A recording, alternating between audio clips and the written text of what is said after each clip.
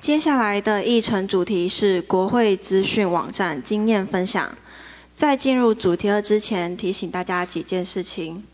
进入在主题二结束之后，接着就是午餐时间，到时候请大家留在位置上，会有工作人员送上午餐。那再说明一下现场环境，洗手间的位置在出门后左手边，另外八楼的洗手间在右右手边的楼梯口。会场后方有提供饮用水，欢迎自行取用。旁边就是垃圾回收区，请大家丢垃圾的时候协助简单分类一下。如果有任何问题，都可以找场边穿黑色衣服的工作人员寻求协助。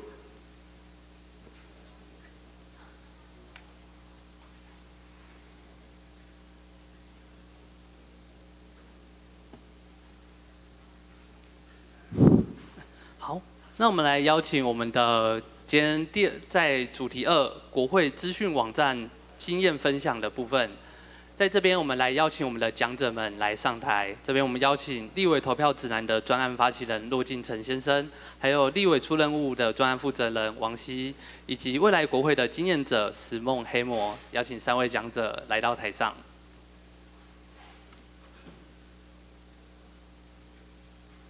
每次到了大选的时候，我们常会不知道说我们要把票投给谁，哪一位立法委员表现得好，哪一位立法委员表现得不好。在以前的时候，我们可能只能够凭着脑海中的印象，然后来投下我们神圣的一票。在那样的氛围情况之下，这时候我们难免也会看到的是说，很多的委员他们可能被迫需要来创造很多的新新闻。被迫需要创造很多新闻的话题，这时候才能够让他的选民认识他，或者是说他需要花许多许多的时间在当地的选区跑来跑去的。那在这个时候，导致的很多人会嘲笑说，怎么立法委员好像做的跟里长一样呢？但是他们可能被在台湾的选举文化中被迫的不得不如不如此，因为如果他们不频繁的出现在在地的选区的话，民众可能压根不知道他，就算他在立法院里面表现得更加认真。但是民众不知道他的话，他最终可能还是没有办法进到国会殿堂，更进一步的为大家来服务。随着我们科技的演变，在这短短的十年之中，慢慢的网络越来越加的流行。除了年轻人使用网络以外，网络的这个族群甚至慢慢的扩大，一路到了可能现在我们的爸爸妈妈，他也开始使为使用的智慧型手机，他可能会用 Line 问说你早上那个有没有吃早餐，然后晚上睡觉了没？他们也开始使用了网络，可能在网络科技的发达之下，在这个时候，许多的工程师投入在政府这块，投入在开放政府开放资料这一块，进一步的协助我们民众，创造了许多许多的网站，让我们来更加了解政治人物做了什么。今天我们邀请到了三位的来宾，第一位是立那个立委投票指南的专案发起人骆进成，请大家那个掌声欢迎他。好，那因为刚刚被告知要在八分钟，所以我就尽快哈。那我会做这个网站，也是因为我投票的时候觉得，我怕我怕会挡到。好，因为因为骆进成有移动，所以我们等下多给他三十秒好不好。OK，那我会做这个网站，就是因为我第一次投票的经验很不好，因为我就是不知道投谁，然后家里叫我投谁我就投谁。然后我投投完以后出来就很不舒服啊，就是觉得民主被我这种这种人浪费了。那我第一次看到第一次投票的时候，看到这个政府给我们的选举公报，其实我是蛮震惊的。就是啊，居然政府给我看这些就要投票，我觉得嗯，大家都都是这样就可以投票吗？因为我看到的都只是他们说他们要做什么，讲难听一点就是在意好小呀。然后我其实比较想要看到是说他实际做过什么，啊，我可以跟我自己的立场去做一个参考。对，那所以我就开始想说，是不是有一个工具可以辅助我来投票？那是不是也有很多台湾人跟我一样有碰到这个问题？那最后经过一段时间，我们就做出了这个网站。那呈现的除了有中选会资料，当然还有这个立委在立法院实际工作的一些记录。然后还有监察院他们申报的财产。那整个网站在选前一个月大概是有四十万使用者。那其实放到单一选区来看的话，比如说这是士林北投，那最后票数差距只有一万三千票。那来这个网站看这个选区资讯的大概有两万五千人。那像另外一个选区更激烈，最后票数差距是只有六千票。那到这网站看这个选区的有快要两万人。那大概介绍一下，因为可能不是每个人都看过。那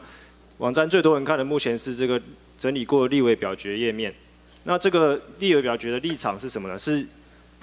每个使用者都可以去对每个表决，他去下一个简单的标签。例如他看完这个表决以后，他觉得说是调涨基本工资，那他就可以下这个标标题。那你同意的，你就可以去按加一。那得票最高的这个标签就代表了这个表决。那为什么要这样做呢？因为那个表决都写得很长，一般人真的是很难看得懂。那如果经过这样子的整理以后，你就可以在选前很容易，或是你平常也可以看，就是你可以大概很明显的看出来说，这个立委去赞成啊、反对或弃权是怎么样的议题。那像如果你有更新更有兴趣，你就可以针对单一的表决进去去看。那像我画红线的部分就是。它整篇都是讲了这样子，好像好像古文，就是我觉得很难看得懂。那你就可以在左上角去做标签，比如说很很明显的嘛，就是他希望不要再有近海的拖网作业。然后我这边也是建议啦，是不是我们立法院的内部的文书不要再用这么文言文的方式，稍微用一些比较简单口语，让我们这种没有什么知识、没有的人也可以看得懂的方式。那像像这个是最近也有在讲的嘛，就是年金改革。那其实这个在二零一三年，民进党跟台联也有提出来过。那这也是一个我觉得各位可以很好去参考的一个方向。以前民进党有提出过这样子的改革方向，那你也可以跟现在他们现在执政以后的改革方向去做个参考。那像立委要提法案嘛，那最近蛮红的也是针对劳基法。那其实法律对我这种不懂法律的，我也是觉得很很难看得懂。所以说，我们就做了一个，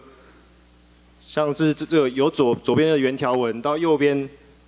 呃，我就会做，比如说删掉了什么，就用红线把它划掉；那新增什么，就用绿色的字把它显现出来。那像你这样一眼看过去，就很明显看到说，他把这个什么适当删掉，改成一个明确的十一个小时。那我看到是觉得蛮哇。我们的法律居然还可以用这么模糊的一个字眼“适当”，就这么形容词的东西，居然可以放在我们的台湾的法律里面，我觉得还蛮震惊的。然后这么多年都还没有被修掉。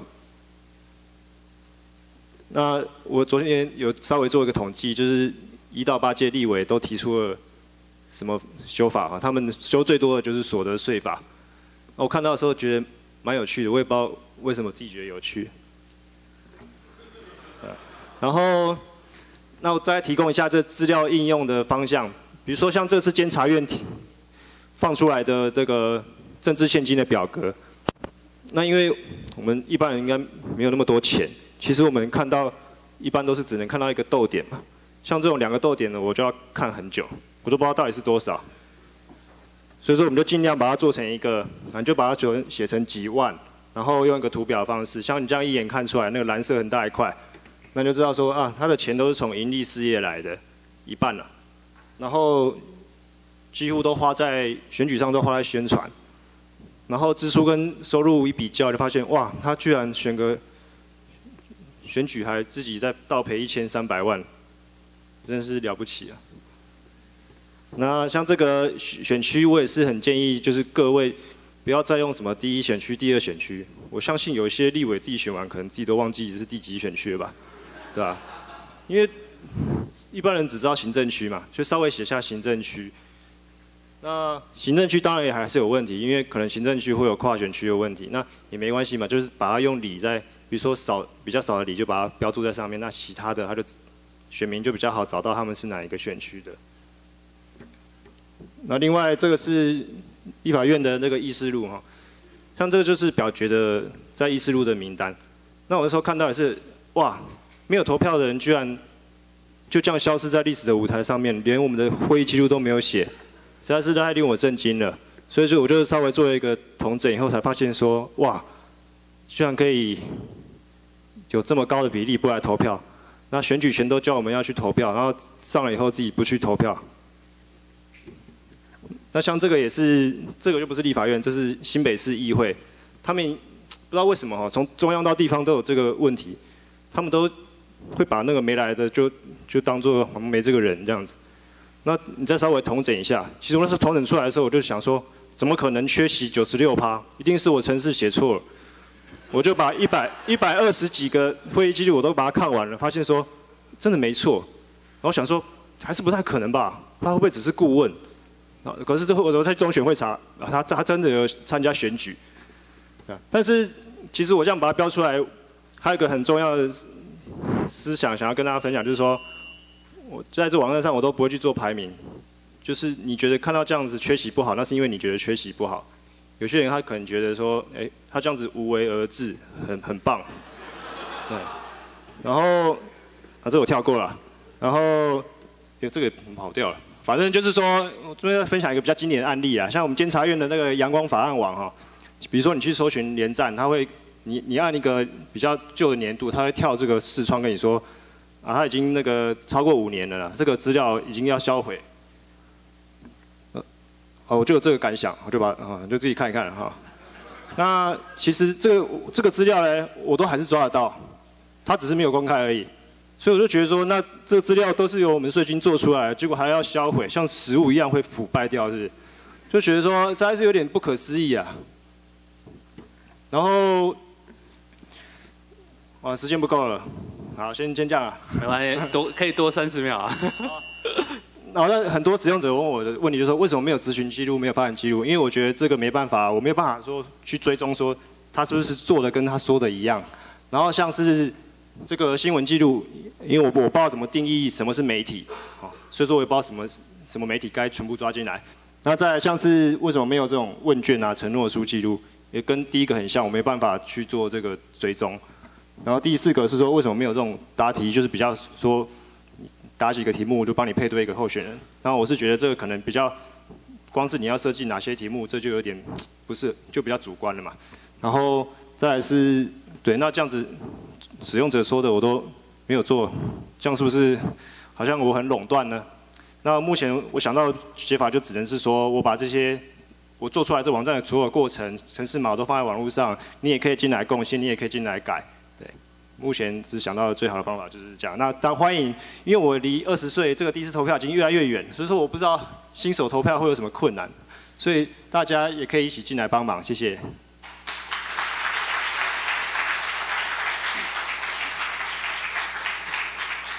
好，哎，那么在现场做一下调查，之前有有用过立委投票指南的，可以举下手吗？哇，超多的，有没有觉得内心很欣慰？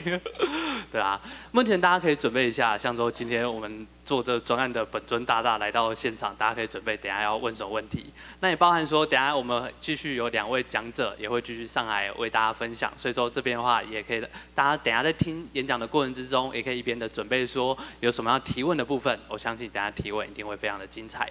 好，那在这边我再做一个调查。在之前的时候，我们的前立法院长王金平，他有做一个粉丝页叫“公道博”，有听过“公道博”的可以举下手吗？有人知道“公公道博”幕后是谁在做的？可以举下手吗？哎呦，有人举手了，厉害！我们下个讲者他非常厉害，他其实是参与了非常非常多的东西，像说。他在宫斗博这里，他其实是一个，他有做出相关的分析，他也是幕后的重要的推动者之一。那并且他也在开放国会这块有着许多的投入，他实在是一个低调的传奇人物啊！让我们来欢迎我们的下一个分享者石梦黑魔。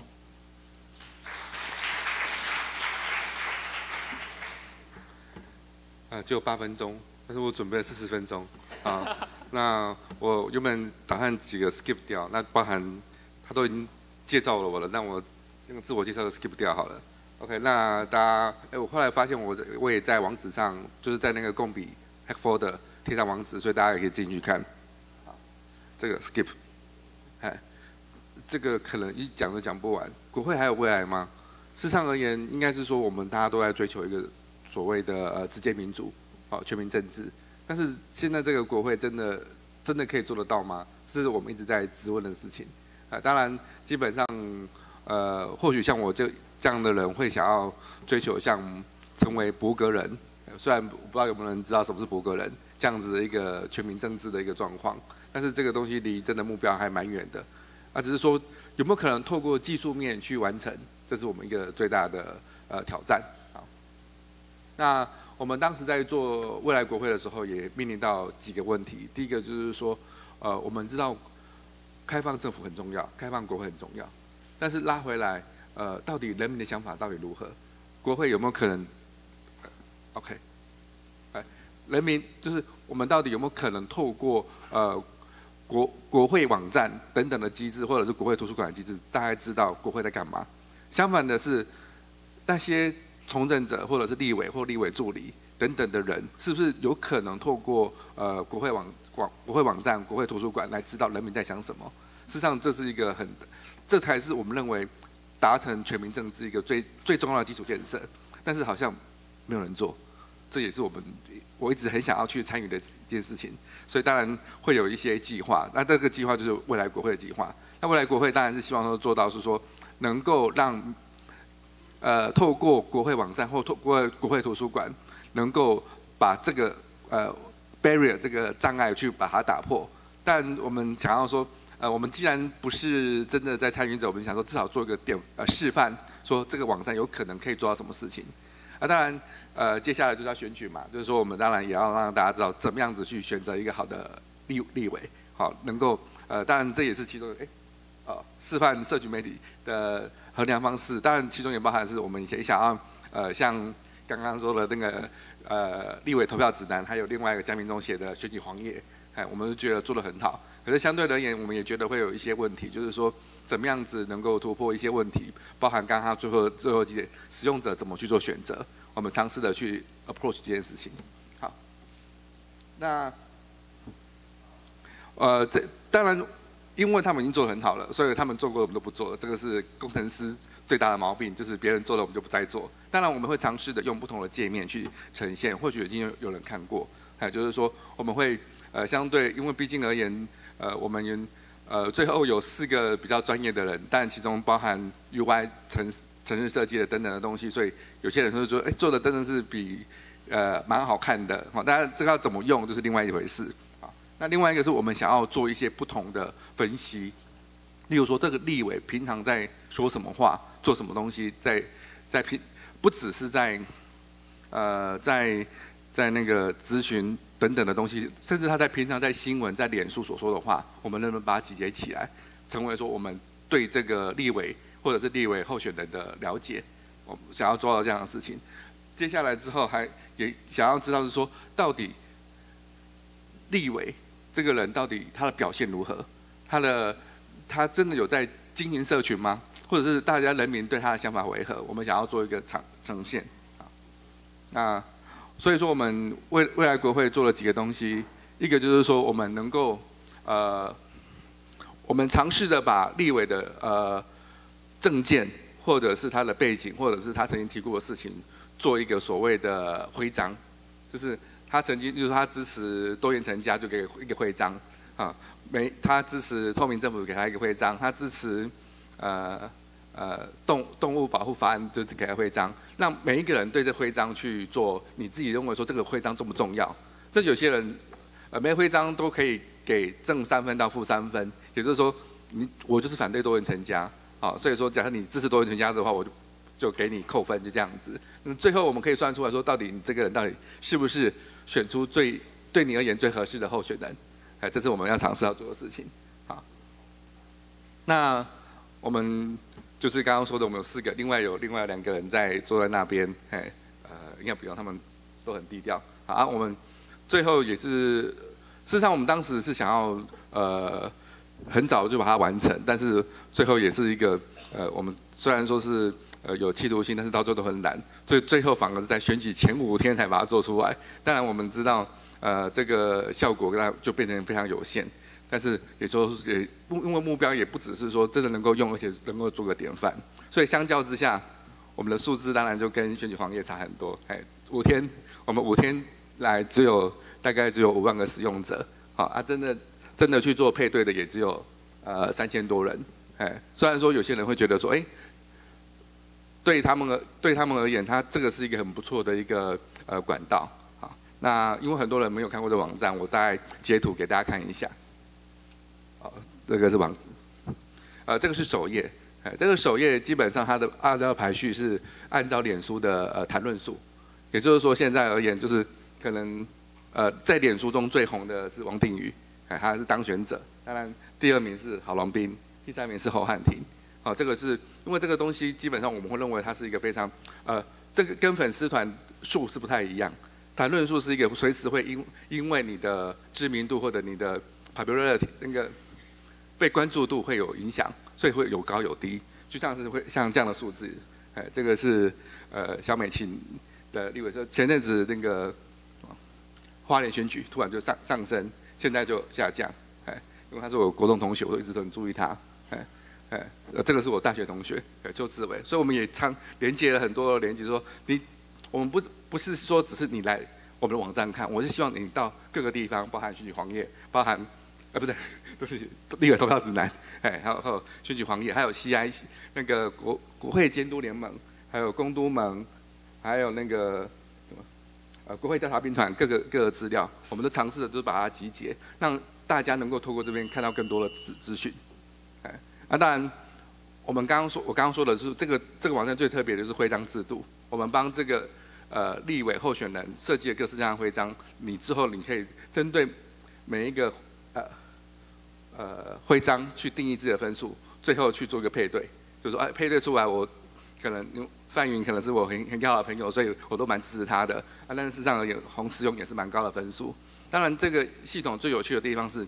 因为我们本本身就是在做语义分析，所以我们会分析出这个这个候选人到底在谈什么东西。哎，例如说，呃，这是刚刚说的秦院长。他就是我们发现他讲的东西比较多的是国会改革、建设跟两岸的事情，这个也就是通过他之前的发言来去做这样的分析，也尝试着让使用者知道这样的东西。所以大家有空的话，也可以去想说，这只是一个示范。我们当然是希望说能够做到一个双向互动的一个国会网站，这才是最重要的事情。好，谢谢大家。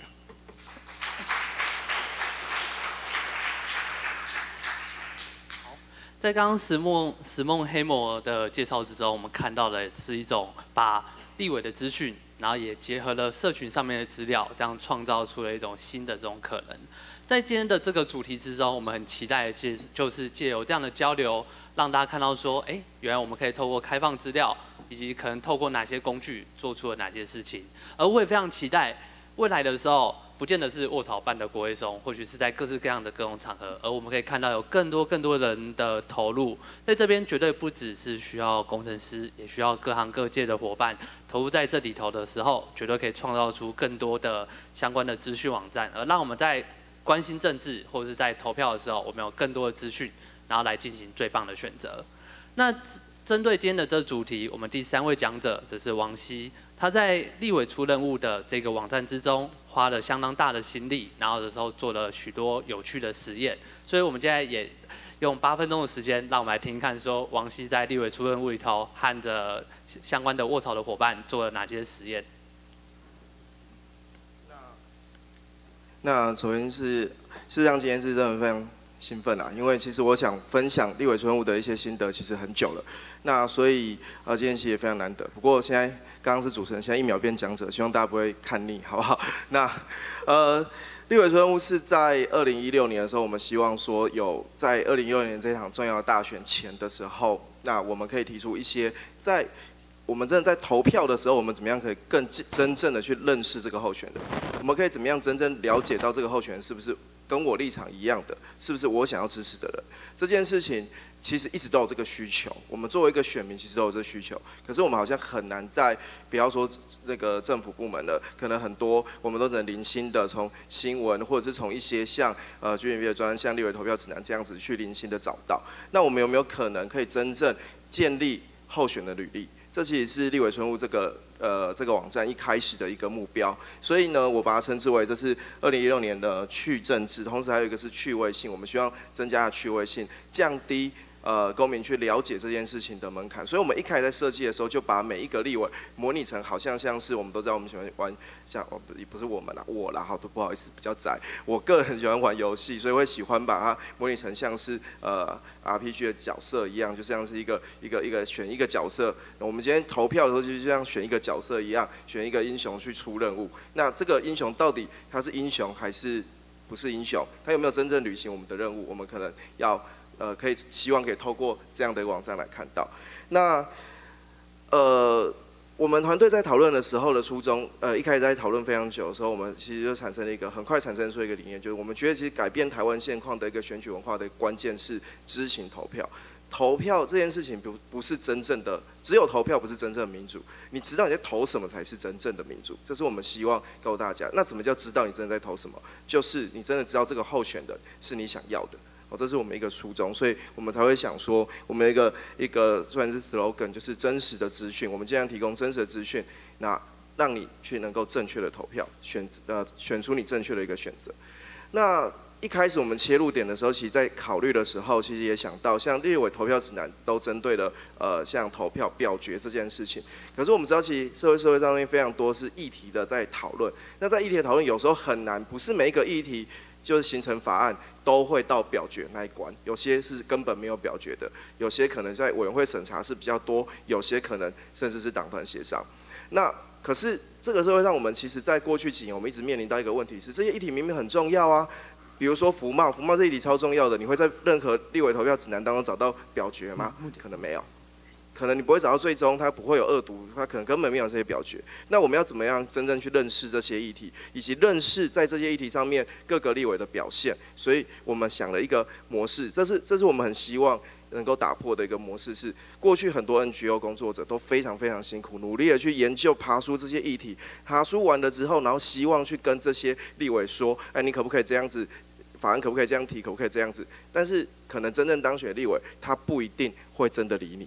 我们都知道会有这样困境，为什么？因为立委其实在意的其实是选票，所以其实这这也是这个网站的初衷，就是我们希望 NGO 的很多专业的意见，其实应该真正去，它不是只有去影响政治人物就好了，它应该去影响选民，让选民认同或者是了解这些议题非常重要，而选民了解了之后，再去影响那些政治人物，政治人物在当选之后，他才会去改变或者是完成。这个议题正确的一个方向，这是我们的一个想法，所以这也是我们希望可以建立这样的一个议题的循环。那立委村屋这个，所以我们很快了解到我们立委村屋一开始的一个初衷，就是我们希望建立成建立出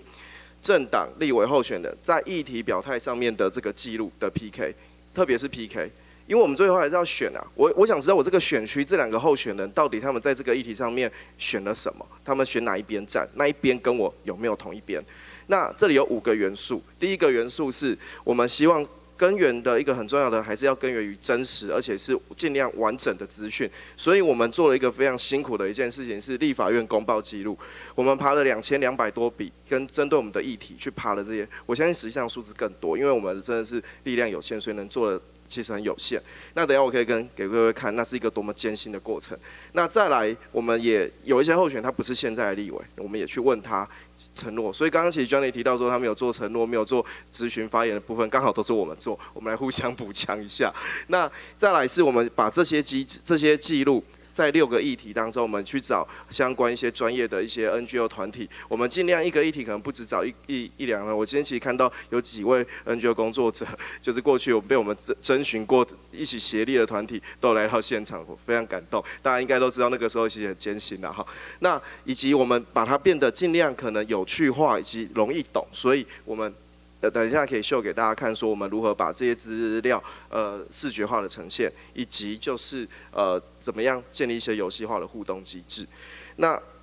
下一个就可以看到，这是我们有选出来六个议题。那当然很抱歉，这件事情真的是，呃，我觉得很困难的事情是，如果议题能够越多，就越全面，就能够越具参考性。但这也就是我们未来会想要持续努力的事情。我们相信，呃，议题越多，涵盖各个层面的话，就能够让大家都满足大家的呃心里想要的选择。这是我们那时候选出来的。那再来是这就是游戏化互动机制，有点真的是有点阿仔啊，就是说啊，我们一开始就会跟你讲说，比如说以克刚这个议题，我们就跟你讲说，现在是有一个城堡啊，这个城堡呃被未知的怪兽就是黑箱嘛，然后 anyway 占据，那呃有一群勇者就是那些立委啦，他们都说他们他们都说他们呃是勇者嘛，那我们是人民，我们要选出他们，这是我们要选的。那你要不要看一下战役简介啊？这个战役简介就是我们可能跟 NGO 协力去产生一个懒人包这样子。那以及就可能就问他说，哎，你赞成还是反对？其实这个立场，我们可能每一个议题会有一一句话，像你课纲这边，我们可能就是问一个问题是课纲的制定程序，呃，完全公开透明，这是不是你支持的立场？这样子。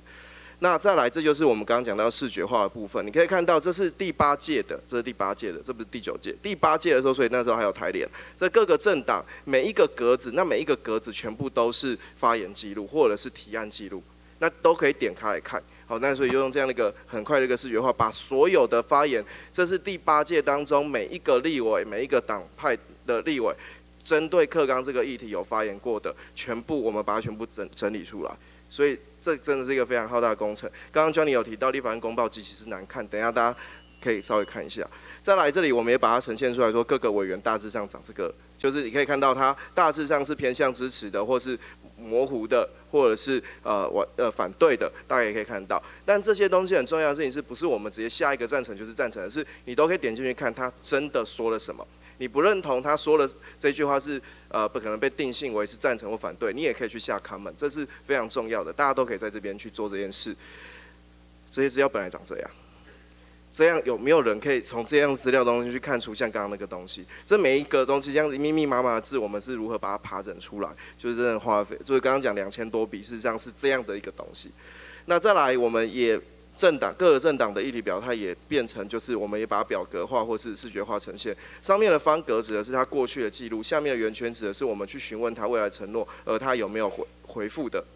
这边可以看到，包含像民进党、新民党。国民党、台联以及时代力量有回复的，我们就会呈现。不好意思，再有一点点时间。然后这个是候选的议题表态，就是我刚刚讲到的 PK。所以我们这边选到说，你看到丁守中，虽然这个立委，这个第八届立委，他过去。哎，他他没有回复我们承诺书，就下面圈圈的地方没有。但是因为他过去是立委，他过去有发言，所以他过去的发言或提案的记录就可以来代表他过去的立场。我们就在上面的方框呈现，灰色代表他可能根本完全没有提到这个议题。而右边的话是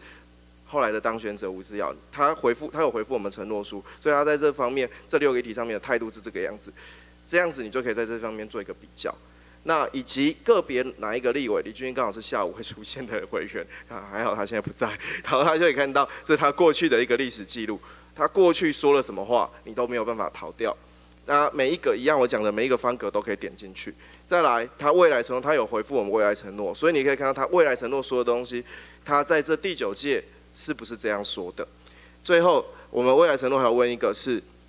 他优先法案，这个我觉得也给李俊伟，虽然他不在，然后我也可以帮他说一下好话，是他真的很努力在推动国会改革相关的法案，他几乎都在做这，他这个会几乎在做这件事嘛。他那个时候回复我们承诺书的时候，就说他会去做国会透明、国会改革国呃相关的法案的修正。那这个我们就可以去看一下，他有没有这样子进行。到最后最后的时候。选完了，二零一六选完之后，三天后我们迅速的更新了我们所谓的议题地图。这个议题地图就是，呃，可以看到每一个我们以针对我们的议题来讲，每一个选区做了什么样的变化。大家可以看到，在二零一呃，在二零一六以前，就新国会以前，可能地图是那个样子的，灰色代表没有，红色代表偏向反对。比如说以这个议题是婚姻平权这个议题来讲，是长那个样子的，几乎都是灰色的，就没有什么人谈论到或没有什么人关心。然后少数绿色，但到了右边可以看到绿色的地方变多，当然灰色的地方还是很多，所以我们希望用这样的方式来去呈现。那这个专案的检讨的话也很快提到，我觉得我就开诚布公直接讲，有两个很大的问题。第一个就是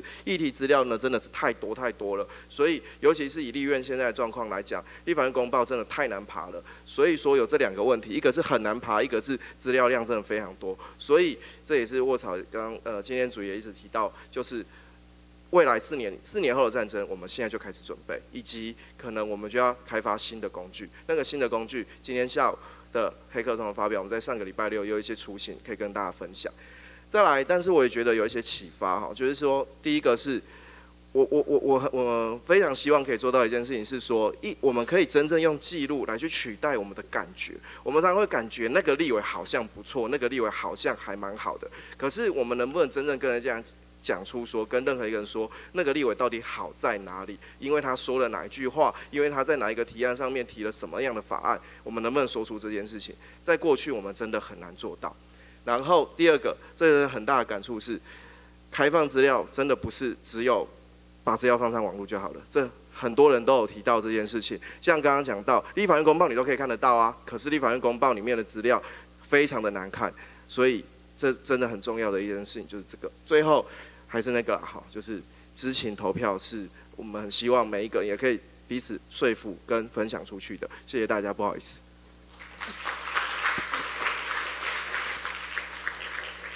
好。我们非常感谢我们的第三位讲者王王希示范了什么叫做霸占咨询台。不过霸占咨询台下面每一位今天的参与者都有机会。等下我们在第三个主题的时候，下午的时候大家就可以一起来参与这个活动，并且下午的时候会跟委员们这样子面对面，然后的时候透过你们所讨论的问题，然后来咨询委员，看看委员会有怎么样的回答。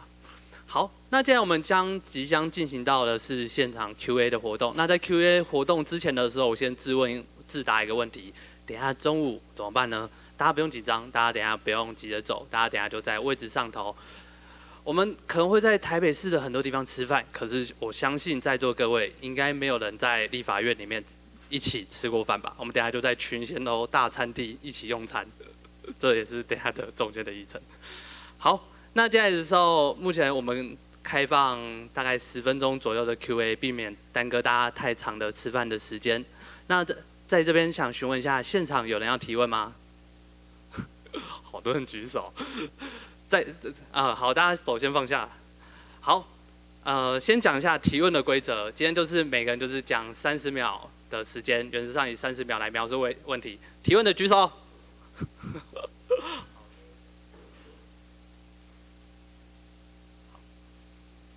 呃，我想讲一件事情哈，所谓动态透明目的哈，当然有，我们不是让那些专家知道知道很多细节啊、专有名词，可是一个真正的专家，我们学习说，如果你的简报，如果一个专家，你没有办法讲的小学生懂的话，你不算专家，你只是那个领域那钻牛角尖待在那领域的一个人而已。所以我我这边有一个问题，就是说，刚才议题式的那种方式很好。的要花的精力很好，哎，很大，所以有没有可能建立跟像海克松、国会松这样的社群，对，可能比如说对环保这样有有兴趣的人去研究，然后长期的去对这个议题做贡献这样的一个方式，然后这样才有可能有一直有人，不然就是靠某些人、某些人去努力。当然科技可以帮助一些事情，可是。总是要人来加入，然后我的想法是这样子：有没有可能有一种平台，然后建立各的各的议题的一个所谓的所谓社群这样子？对，这是我的想法。好，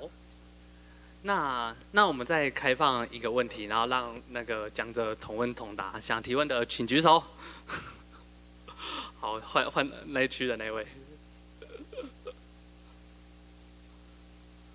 那原则也用三十秒来描述问题。呃，三位讲者您好，就是我首先想要请问一下，地委出任务的那位王先生，就是刚刚有提到那个 NGO 的那个回圈，我比较好奇的是为什么会？你刚刚讲的听起来让我觉得说，你把教育呃把议题传达给人民的这个责任摆在了 NGO 身上，我比较好奇是为什么会这样想，而不是摆在把把这个。呃，把议题传达给人民这件事情摆在立委的责任上，或是政府端的责任上，我不认为这样，我不认为摆在 NGO 身上是错的，或者摆在立委身上是错的。但是我只是想要知道，呃，你后面的想法。再来，另外我想要问的是，就是想要三位讲者一起问，就是我从刚刚听下来，我觉得有很，就是有做出了很多很棒的专案，包含这个立委出任务，或者包含前面的那个投票指南。我觉得，呃。这些专案，还有前呃上一场直播这个部分，我觉得这些专案都做得非常好。然后他们都有不同，他们虽然说是针对不同面向，比如说直播，比如说选举等等等，但是他们有一个共通点就是国会。但是我我个人觉得，呃，大家非常努力做出了很多很好的东西，但是他们没有统一在一起，有一些部分重叠了，会让我觉得有一点点可惜，而且。如果就我，如果是一个平常没有在关系，就是我觉得会不会有个，比如说搜寻上，你就会搜寻到很杂乱的，就是不好搜寻到那些网站。那有没有可能是把这些东西统整起来，会不会有更大的效用？我想要问这两个问题，谢谢。好，那目前我们先收集了这两个问题，那我们邀请我们的讲者回答。那那那那在这边就是讲者们，等下在回答的时候就距离麦克风近点，因为这样子会让共笔的伙伴可以更好的记录。那有谁想要先回答呢？呃虽然我就直接回答，那没有问我的我也稍微讲一下。像第一个议题说那个议题的 work group 啊，我这边刚就突然想到说，像立委出任务这边是由他们自己选出了六个议题嘛，那也许未来是不是在资源有限的状况下，你直接办一个，比如说全民投票，选出六个议题，那你投了那个议题的人，你就有他的 email 之类的，你就可以邀请他来参加这个 work group，这是一个一个建议。那第二个问题是说，关于为什么，哦，统合的问题，那我这边想法可能只能是说，目前我就每个人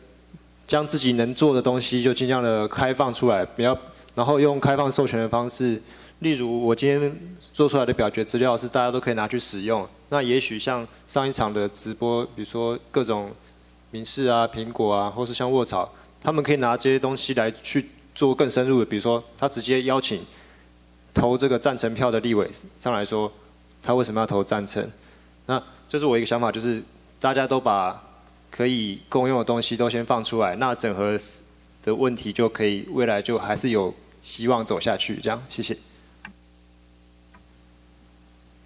我我反而觉得是说，不太可能由一个东西，一个中央的网站能够知道所有的事情。我反而是各个网站有各自的专长，之后我们能够透过什么 A，透过 API 能够把它串接起来，让使用者能够呃透过交互连接知道更多。我倒觉得这才是重要的事情。当然，呃，我们的的。国会网站，我说我是说官方网站，自己本身也要负担很这样的责任。可是我们都知道，我们国会网站现在在 Google 连搜寻都搜寻不到，嗯，标题都是一样，所以基本上就完完全不会被索引，所以根本找不到资料的情况之下，就呃，或许他们本来就不想要做这种事情。哎，那当然人民尝试的去 push 这些事情，我们把它串接，哦，是很重要的。啊，跳回第一个问题是，呃。的确，我们呃上已经有人在做的事情，像 V 台湾也尝试着在做这样你说的那个问题的事情。但是，的确真的要把做出一个专业的东西，也没有那么简单。哎，事实上我一直都认为，呃，我这边说一句话，我真的觉得国会呃立委真的太少了，甚至应该是最少的是立委助理。哎，立委助理我认为应该都要 double。真的让那些人真的能够做更多的事情，当然不是说把那立委助理的那个 account 给亲他的亲亲亲朋好友，那是不对的。就是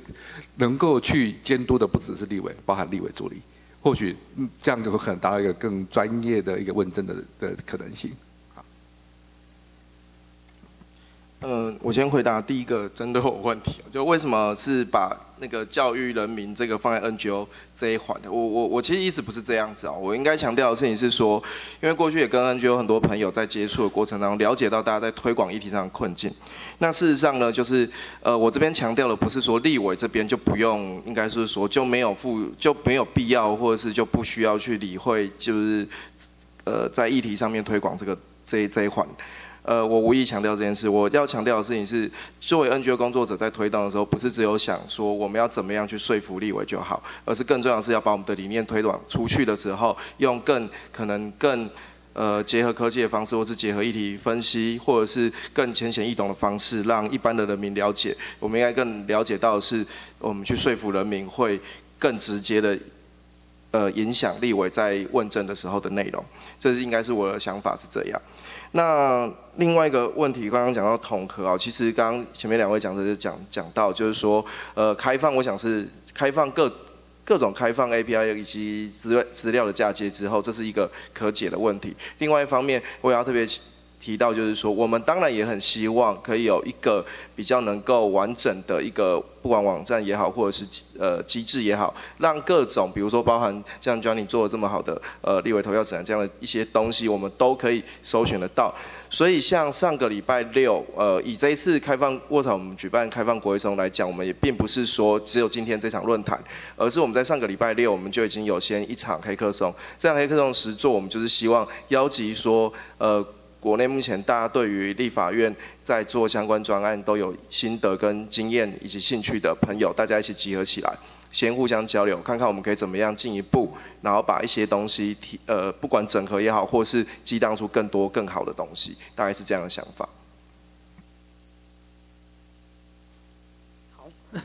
那我那我目前就是我们将这回答完之后，在这在这个主题。国会资讯网站的经验分享之中，就是我们非常谢谢这三位讲者。在这里头，我相我是非常期待说，能够借由这样的讲者分享里头，也可以刺激大家的思考。然后说未来如果有类似的活动，例如像说台湾相当大的 GDP 的社群，像说大家每两个月都会有办一次的黑客松，大家可以去那边进行提案。那在这边的话，我们也很期待说可以看到。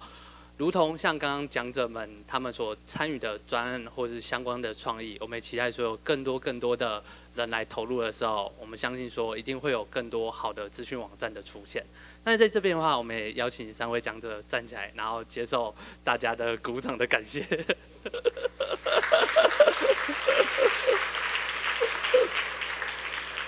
非常谢谢他们的投入，因为有他们投入，让我们的许多的网友能够有更多的资讯网站可以使用，更加了解国会。我们大家谢谢他。